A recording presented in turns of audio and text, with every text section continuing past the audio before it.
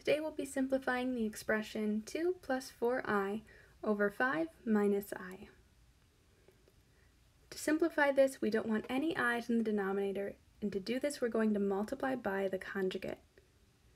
So the conjugate is 5 plus i, and we get this by just taking the imaginary term here and making it the opposite. So now instead of negative i, we have plus i. Whatever we do to the bottom, we also have to do to the top. And when we multiply this out, we're going to FOIL the top and bottom.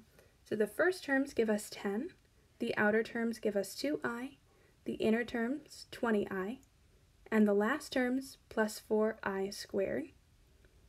Then in the denominator, the first terms give us 25, the outer terms give us plus 5i, the inner terms give us negative 5i, and the last terms give us minus i squared. Now we can combine like terms. In the numerator, we get 10 plus 22i. This i squared is actually negative 1. Negative 1 times 4 makes it negative 4. In the denominator, we have 25, then positive 5i and negative 5i cancel out. And again, this i squared is negative 1, which makes this a plus 1.